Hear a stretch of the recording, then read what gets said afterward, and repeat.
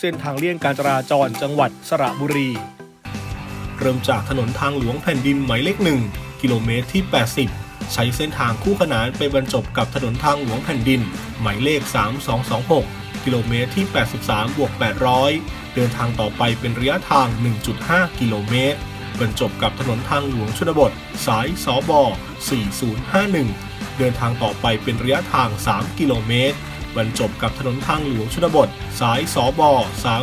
3021 เดินทางต่อไปเป็นระยะทาง 19 กิโลเมตร วิ่งตรงผ่านไฟแดงเพื่อบรรจบกับถนนทางหลวงแผ่นดินหมายเลข 362 กิโลเมตรที่ 3 บวก 290 แล้วเลี้ยวซ้ายมุ่งสู่จังหวัดลบบุรี จังหวัดเพชรบูรณ์ต่อไป